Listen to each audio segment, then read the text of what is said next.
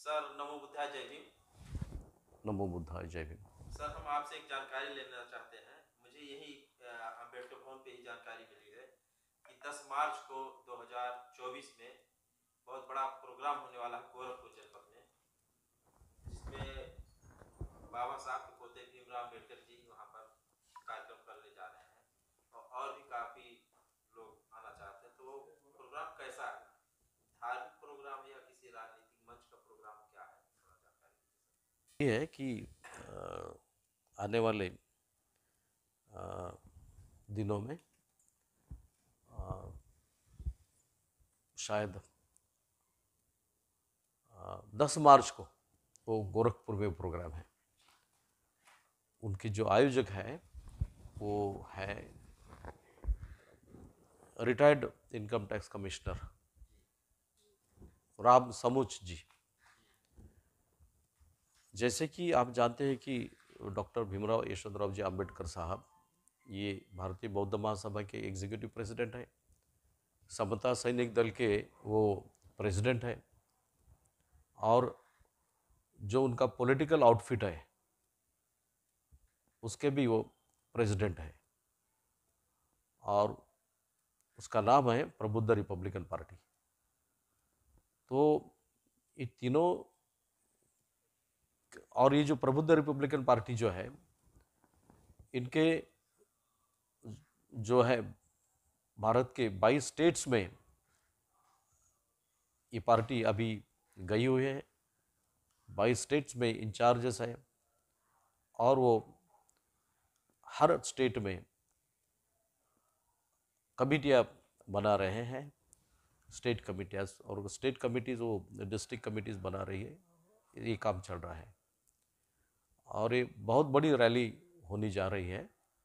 कहा जाता है कि वहाँ पर कई मतलब लाख, दो लाख के आसपास लोग आ जाएँगे वो रैली में, क्योंकि लोग देखना चाहते हैं। बाबा साहब के जो असली पोते हैं, डॉक्टर भीमराव जी, यशवंतराव जी आम्बेडकर उनको लोग देखना चाहते और वो जो कारवा है, अभी बढ़ते जा रहा है। लोग आ रहे हैं, हर स्टेट से लोग आ रहे हैं। और ये इस समय ज़रूरत भी थी, क्योंकि सारे भारत में कोई ना कोई कोई ना कोई संगठन जो है बाबा साहब का नाम लेकर चला रहे हैं। और उनके ये जो कारण है कि उनका जो अपने वेस्टर्न इंटरेस्ट है पॉलिटिकल इंटरेस्ट है और उनके और कोई जब इंटरेस्ट होगी वो उसके लिए वो काम करते हैं।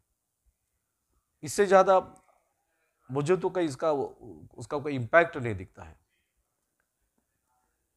और फिर साहब ने ये तय किया कि हम ही क्यों नहीं मैदान में उतरे? क्योंकि बहुत सारे लोग जो है अपनी पार्टी के माध्यम से उल्टा सीधा काम भी करने लगे बहुत सारी बातें आपने भी सुनी है। कि जिस पर टिप्पणी करना भी उचित नहीं लगता, इतना खराब उन्होंने काम किया है। तो इसलिए कि बाबा साहब के जो वारिस है, बाबा साहब की जो वंशज है, वो खुद अभी उतरे हैं मैदान में और काम बहुत ज़ोर से चल रहा है। लोग आस लगा के बैठे कि हमका, हमारे तरफ़ कब डेट मिल डेट देते हैं, हमारे कब कब आते हैं। जैसे कि आपके यूपी में, आपके बिहार में, आपके पंजाब में, आपके हरियाणा में, यानी नॉर्थ बेल्ट तो पूरा, साहब के तरफ़ आस लगाए बैठे कि हमारे तरफ़ आए, हमें डेट दे, हम रैली अरेंज करते हैं। अभी अभी मेरठ, ये, अभी हरियाणा में एक प्रोग्राम हुआ हो गया था, हुआ था, कुछ चंद दिन पहले, वहाँ पर लोग डॉक्टर साहब जाकर आए हैं अच्छा प्रोग्राम हुआ वो।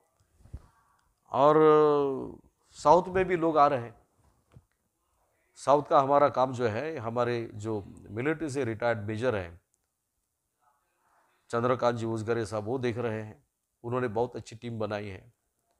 और जो मेन पार्टियाँ हैं, साउथ की, और जो छोटी मोटी पार्टियाँ भी, वो सब सब लोग साथ जोड़ना चाहते हैं। और उसके लिए डॉक्टर साहब ने एक अलायंस बनाया है, जिसका नाम है नेशनल बहुजन अलायंस। अभी एक दो दिन में आपकी दिल्ली में ही दो चार दिनों में आप जाकर उसका उद्घोष भी करने वाले हैं। मैं retired principal doctor Yagnesh Krishna ji Thomri मेरा नाम है। और मैं डॉक्टर भीमराव यशवंतराव जी अंबेडकर के साथ काम करता हूँ। उनके पार्टी का जनरल सेक्रेटरी जी।